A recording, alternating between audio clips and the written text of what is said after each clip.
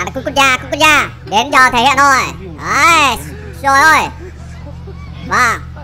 Như vậy là những người đàn ông mà đang uh, cho một chiếc xe lưu à Cỡ nhỏ lên một chiếc thuyền. Và chúng ta cùng xem. À. Rồi. Liệu có làm được hay không đây? Đấy. Ôi Thoải mái giờ Ồ, cái này các anh tính hết rồi giờ Như này cũng dễ thôi. À. Đấy Trời ơi. Ngon lành luôn. Nào thế vẫn đang giật dữ này. Đi ra đi, đi hẳn ra luôn đi, là sao phải lo nhỉ. Không? Đây, Ô, ô, ô, ô, ô, không sao, không sao, không sao. Không sao. Thoải mái đi, thoải mái, thoải mái, thoải mái đi. Ô,